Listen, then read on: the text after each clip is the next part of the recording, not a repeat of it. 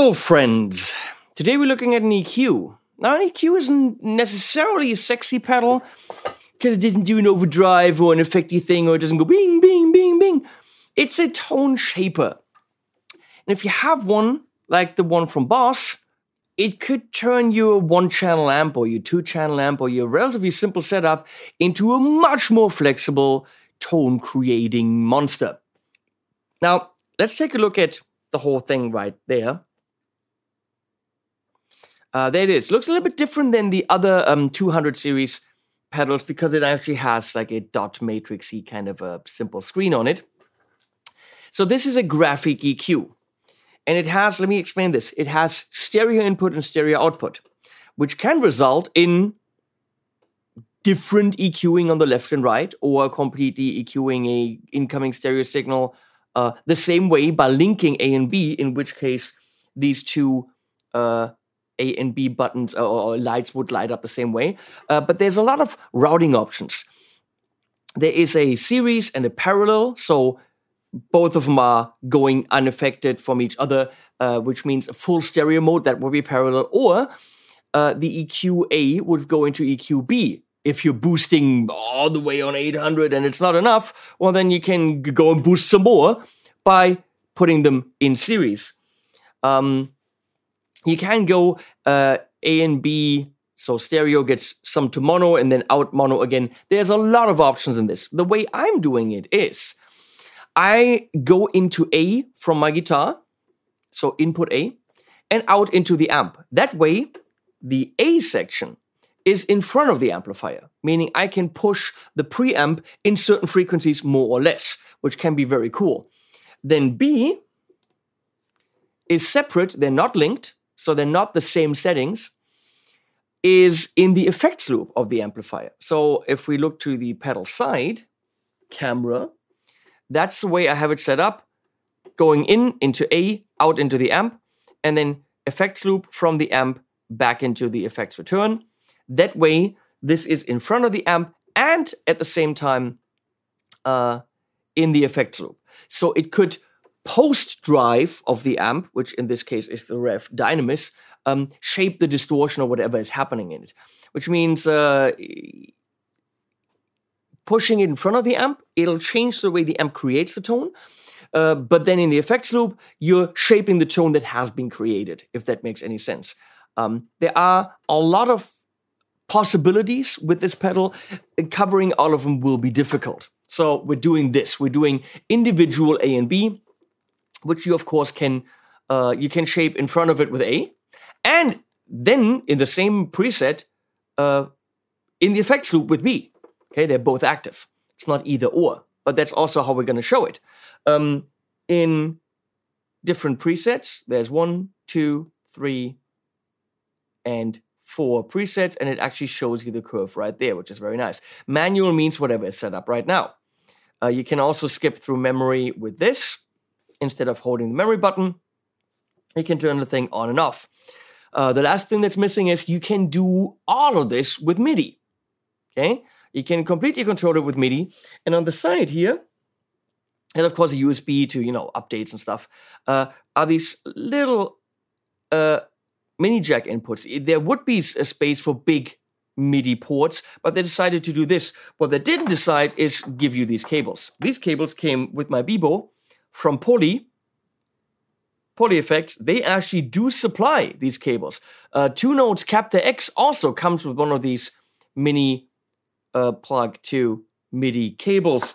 Boss decides not to do that. Boss does decide to give you batteries, which is kind of cool. If you can see on this um, overdrive, on the OD200, there's a battery compartment at the bottom. I think it holds three AA's, and they do come in the box. I kind of wish they gave me the MIDI cables instead of the batteries. Uh, the MIDI cables in the in the uh, quantities that they would buy them would probably be 50 cents. So who would give who would give a shit? But they don't. So here we have frequencies, you know, 30, and it shows you, and this is all bell, so they're band, boost, or cut. No shelving on it. You can see 200, 400, 800, 1.6, blah, blah, blah. You know, you can, you can read. But that doesn't necessarily mean that that's actually what's happening. Um, if I push these two at the same time, channel and memory, I'm going to the menu. And um, a lot of the stuff in the menu has to do with switches because on the back, there's also an expression slash control input. So you can actually use a dual foot switch if you wanted to. And change from channel A to B or some presets or it, I don't know, maybe turn an individual frequency on and off. There's a lot of stuff you can do. Switch function is right off, memory function, memory up. Oh, you could do, you know, then there's extra switches for that. Expression, expression minimum and maximum setting. Look at all the fun stuff you can control. So the structure is parallel. You can switch that to series. Those are the two things. We already talked about that. We need it in parallel.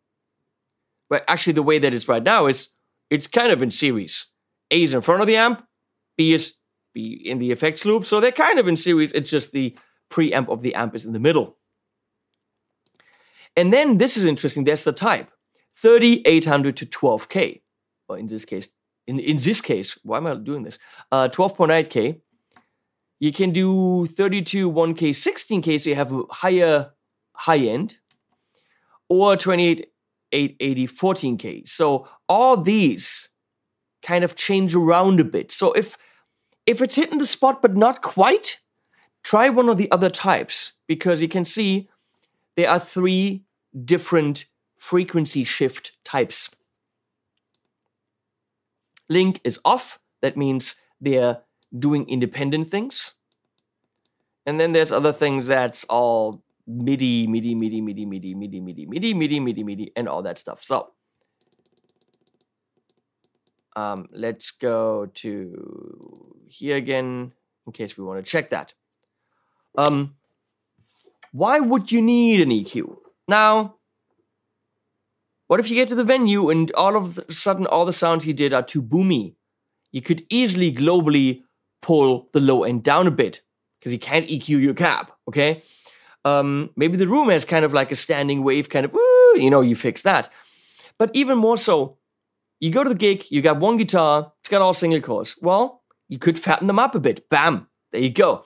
Uh, you come to the gig, you got one guitar, and you want a little bit more sparkling highs than the humbuckers can give you. Bam, you can do that.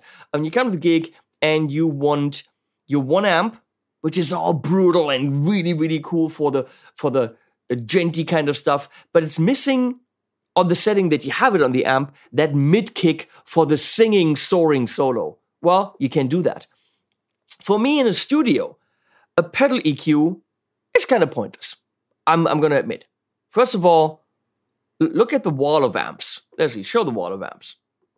I have a lot of amps there. So me, in a very special situation, I'm gonna go and go to a different amp if I don't like what I'm hearing. Okay, I'm not gonna EQ it with a pedal. Uh, if I um, back to me. Um, if I have a problem with the sound, first of all, I wouldn't try to EQ it and record it. Uh, or I would fix it with an EQ after I recorded it. But that's a studio application. You can't do that live uh, the guy on the front of house mixing console will not have something this complex and this surgical. So, for a live situation, this is very valuable, especially if you're going with a simpler rig. Um, I've got an Ibanez AZ2204 TAB here. Got some single coil sounds, some humbucker sounds. Into the Dynamis, into the OX, and as I said, with the EQ 200 in front of it and in the effects loop. So we're gonna go. I always play those chords. We have it on. Makes no difference. Um, let's play around with it.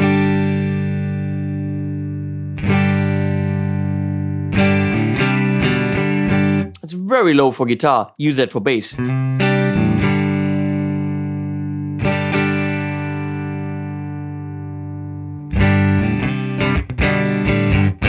Thump, it gets very thumpy.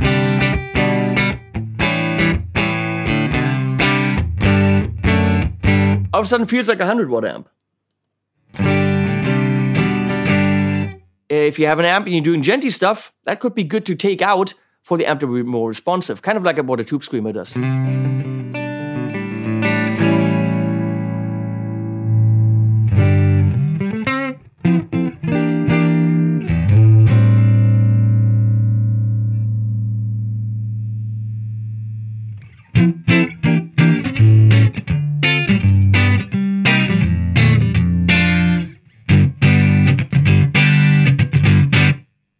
That's fatness right there.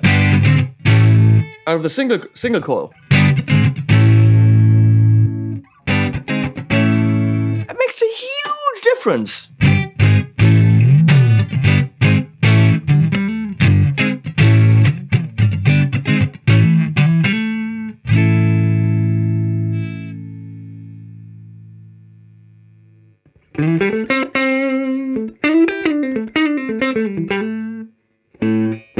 That's mids.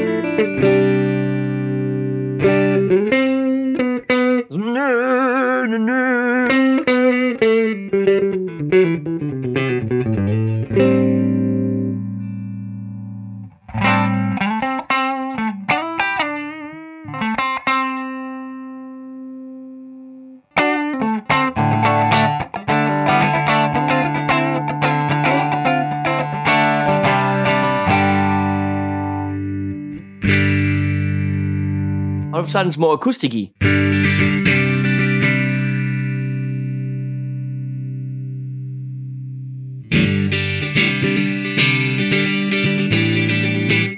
Acoustic guitar simulator right there.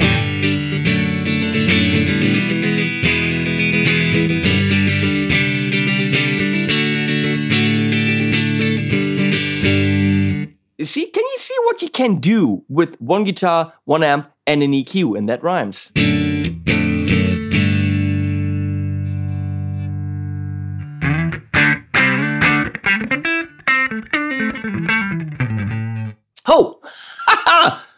True story. My very, very first pedals, I had a tiny little shit amp. I mean, one of those. and I went with my brother and bought pedals after a couple of months of playing guitar. And the first two pedals I bought was a Boss DS1 and in graphic EQ from Boss, I think with the G7, GE7, something like that. Um, GEQ7, I don't know what it was called, but it was a Boss pedal, it was an EQ because the guy at the store showed me how much I could shape my sound with just that and how much it, I could get out of my little really, really crappy transistor amp. So, yeah, one of the two first pedals I ever had, ever, 1990, was a Boss EQ. Used it quite a bit.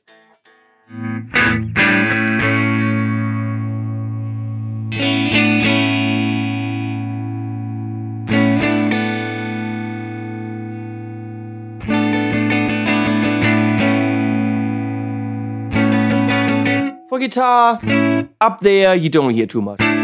For electric guitar, for bass, maybe more.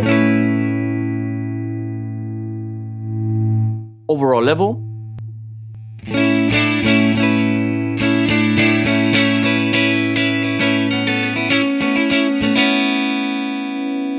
Let's do this. We're gonna look. We're gonna do this drastic boosties.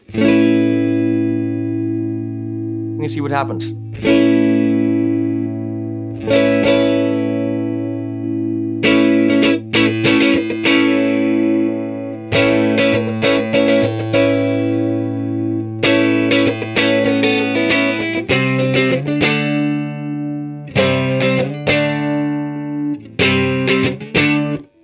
Shifts the frequencies slightly so you can really pick the range that you want. Oh, and both of them again. Okay. So that that's really all there is. Now let's do the same thing. Why not? Uh, but on the B side, which is now in the effects loop.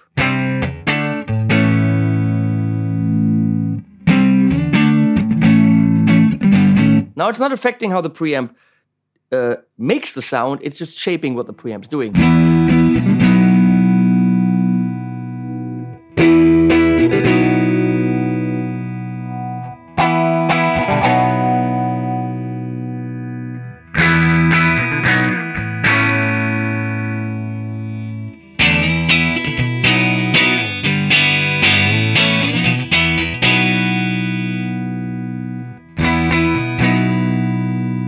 Up there, not too much happening.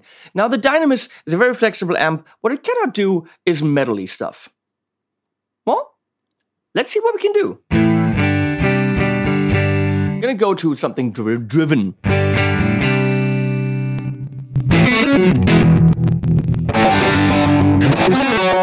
I'm to start, the reverb's coming from the amp. I'm to start on uh, the blue setting, which is the middle gain, and see how I can push it with the A side.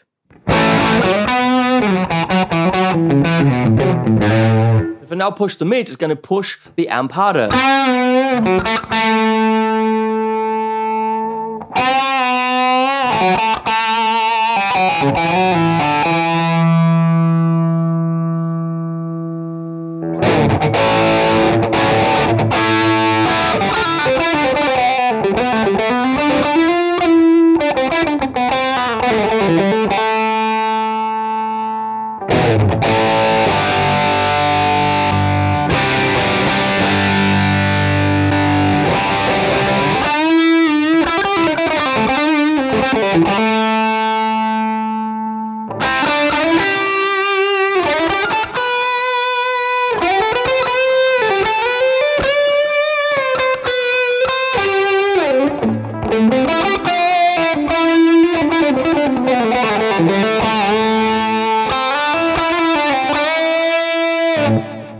Forgot that this is what we actually have. Less gain, less mid focus.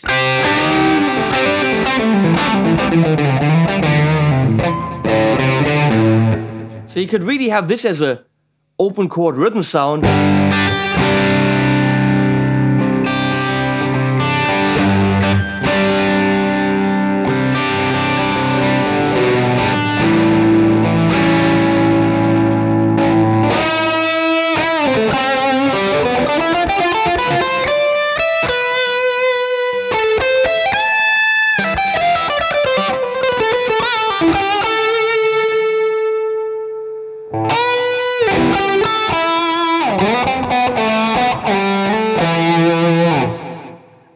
Save this by holding this in, going to 1, holding it in again. Now that's saved to 1. We're going to see how it affects uh, the sound if I do the same setting, but on the B side, behind the drive. So for that, I'm going to go to B, wiggle my sticks just the tiniest bit. So technically should have the same setting on B going to go to A and flatten it. Okay. Um, and save that to memory too. So I should technically have on 1, I should have that setting on A, but nothing on B. And on 2, I should have that setting on B, but nothing on A. Okay, gonna save that again. There you go. Um, so let's see what that sounds like.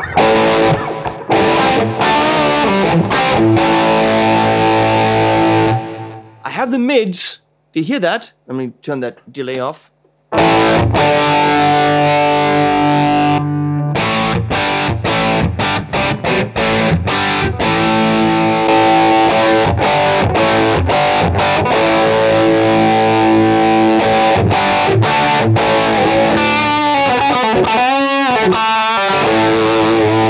Have the mids without uh, the additional gain boost because I'm not pushing the preamp harder.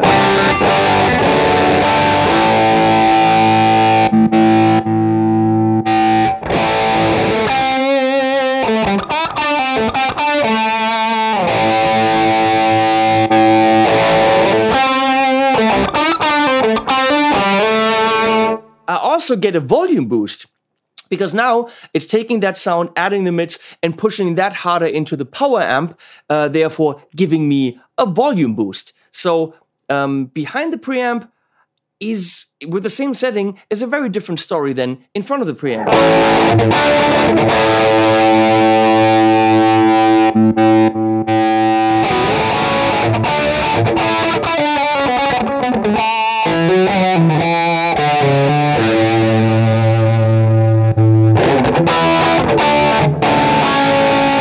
Course, I can go to A here and boost that in front of it as well. So now we have kind of mid-city on B and mid-city in front of the amp.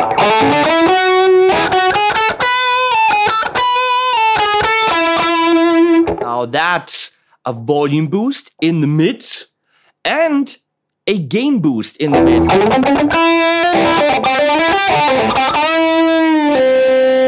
So let me show you. You're playing.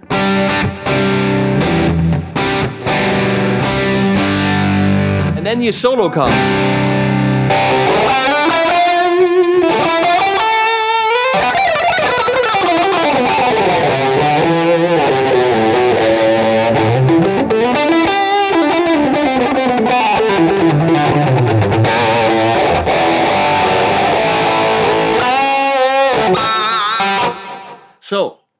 That works. Let's see if we can make it a little bit more aggressive.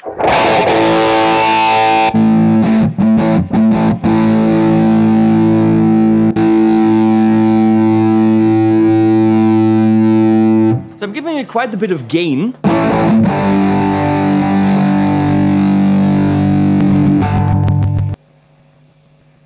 Okay, it's flattened.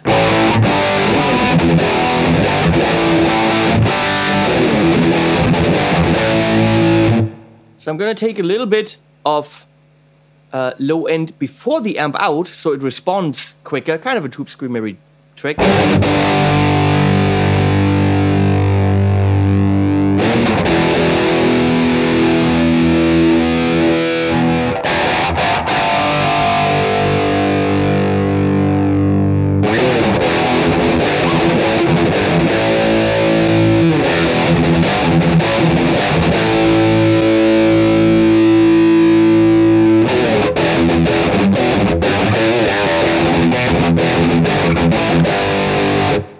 Now shaping it in the effects loop. I want a little bit more bite.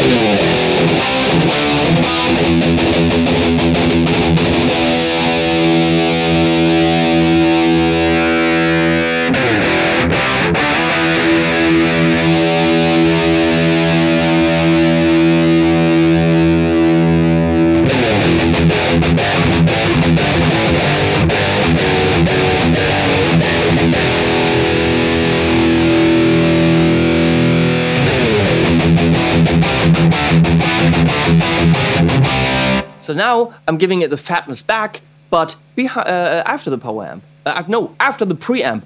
I'm confusing myself.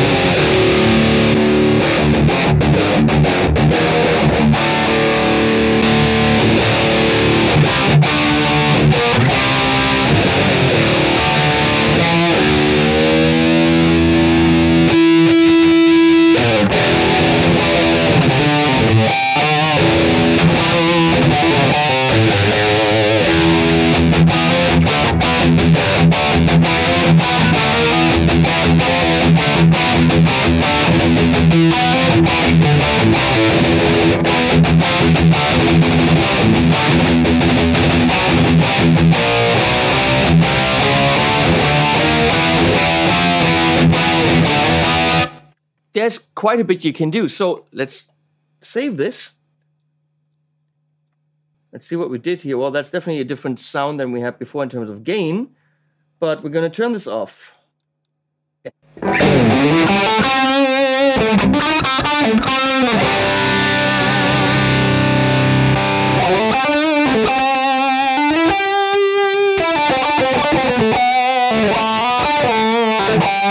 There's our, our solo sound. So,